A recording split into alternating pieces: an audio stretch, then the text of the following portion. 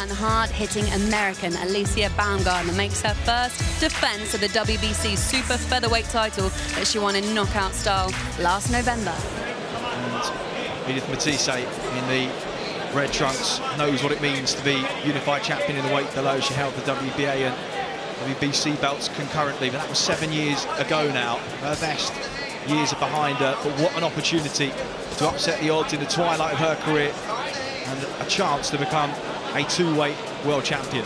She's well up against it though, Chris. I mean, talk about ways of winning a world title. The way that Alycia Baumgardner done against Terri Harper, it was so spectacular. It really was, wasn't it? She's a, she's a very good fighter, so powerful, can punch with both hands. She's very intelligent with her head movement while she's throwing her right hand. She, she takes it off centre line. You can see there the aggression. Biting down on the gum shield, put four shots together. So smart, so quick. But Matthysse, she's stocky, she's aggressive naturally, but not being able to here. She's going to have to call on all that experience, being a former two-time world champion. But she's up against it, she really is. I, think that Alycia's, um, you know, amateur pedigree really comes through with her balance and just her footwork. You know, she's got great balance, you know, and using that jab, just just stabbing it right out there. You know, she's she's always well balanced Matthysse here just pushing up to her and trying to put the pressure on her.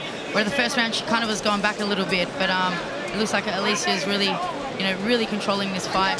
Beautiful. There's that shot. That's that shot, that counter right hand. Beautiful shot from She's Alycia. just pouring that jab out, Matthysse, yeah. she? She just looks really slow and she can't afford to, to poke that jab out like the way she just did because she will get countered over the top of that right hand. Of course, the temptation to to rush in for the Argentinian with that lead left hand, almost Roy Jones low at times from Baumgardner, but it's by design. And it was a stiff, solid right hand down the middle, and that was what she hurt Terri with on the temple in the fourth round of their encounter at the back end of last year. And she looks comfortable here in her rhythm.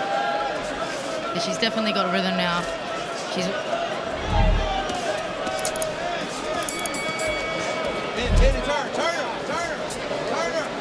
can see Matthysse is trying to like rough her up a little bit like what you were talking about, Chris, earlier. From what we've seen in these first four minutes, looks like her, her only hope at this stage of, of her career. And again, just walks into a stinging counter right hand from the American champion. No doubt she marauds forward again, just walking into straight fizzing shots from Baumgardner, who now she's in cruise control, but starting to just turn the heat up on her challenger, who will be feeling her age in there.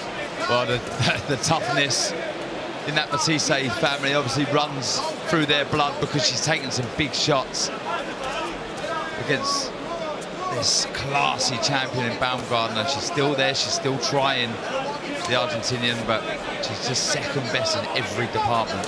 She, she's so mesmerising to watch, you know, just her feet, you know, just her sharpness of her hands. It is quite mesmerising. And I feel like even, you know, Matthysse's even getting a little bit mesmerised there, just standing there, you know. Um, you know, I don't think she has an answer for anything. She's just taking the power out of the shots a little bit here, Baumgardner, Just trying to soften. Oh, beautiful right uppercut. Yeah, just trying to soften Matthysse up. You see her, she'll throw three or four soft shots and then she'll really bite down on the gum shield and let a big right hand go. Well, it will be fascinating to see her in the ring, potentially with Mikaela Mayer later this year or early next, who will be at a big size disadvantage. Mayer, a huge 130-pounder. With the skills that she has, the explosive punching power, and like, well, the repertoire we're seeing now so, yeah, gives like her a chance against anyone. Yeah.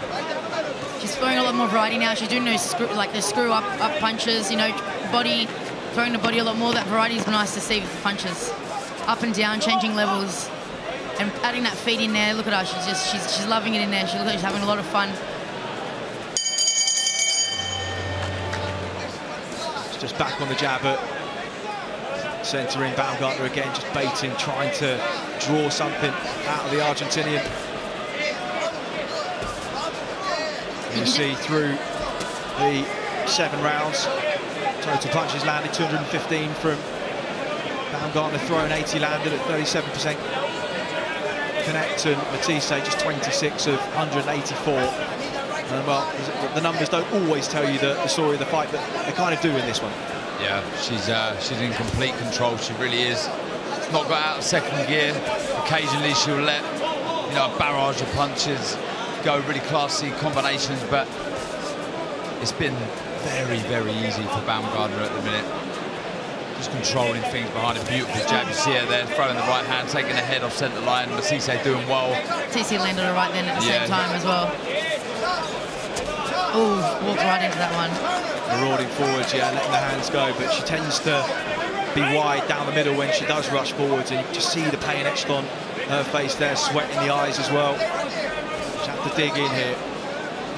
Baumgardner just waiting, stalking, trying to find the perfect moment. Yeah, I'm surprised she's not found that right hand that she throws there. Just as I say it, more often the uppercuts as well in the first round. As again, as I say it, she throws it I thought the, the, the, the, uppercuts in the first and second round were really eye-catching and she was having success, but sort of neglected the shot, hasn't thrown it as much as I'd have liked.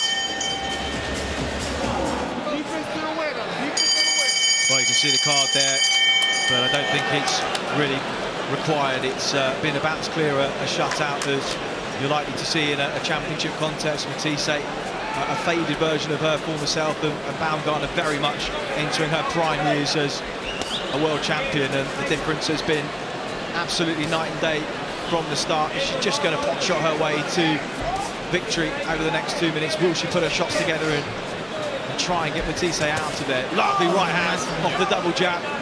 Yeah, look, I, I would personally, I mean, look, she hasn't put a foot wrong. She's She's certainly won every single round. I'd like to see her empty the tank and really go for the finish. I mean, that's all that's missing from this display. Good five-shot combination there, lovely. Yeah, more of that, let the hands go. Yeah, here we go. the last round. Yeah, I think the threat that's, that's coming back is, if it was a threat at the beginning, it's diminished completely now, and she will know the danger of getting caught is unlikely at this stage. Wonder if Mikaela Mayer will be watching this. He's in the UK tonight, of course. There have been some words exchanged between the pair of them. What a fight that is going to be later down the line. Kimberly Choi, of course, in the mix too, to come next, we believe. And Baumgardner here just cruising to victory over 10. Matthysse swings in a left hook. It's laboured now speed of the American still there, still sharp. It's just a, a lot of head hunting, though. I would really love to see her go to the body. You know, she's throwing all these punches to, to, to the head, but you know, she did those three, four combos and then body shots and then back to the head. Like that's that's now she's sitting the body. That's the kind of uh, you know the flurries or the combos that would really have an effect here. I think like she's hearing me. Yeah, she took your advice there. That's another one, two to the head off the back of it. Left hook to the body, works away. Trying to chop the tree down right to the final bell. Ladies and gentlemen, after 10 rounds here in Manchester, England, we go to the judges' score totals.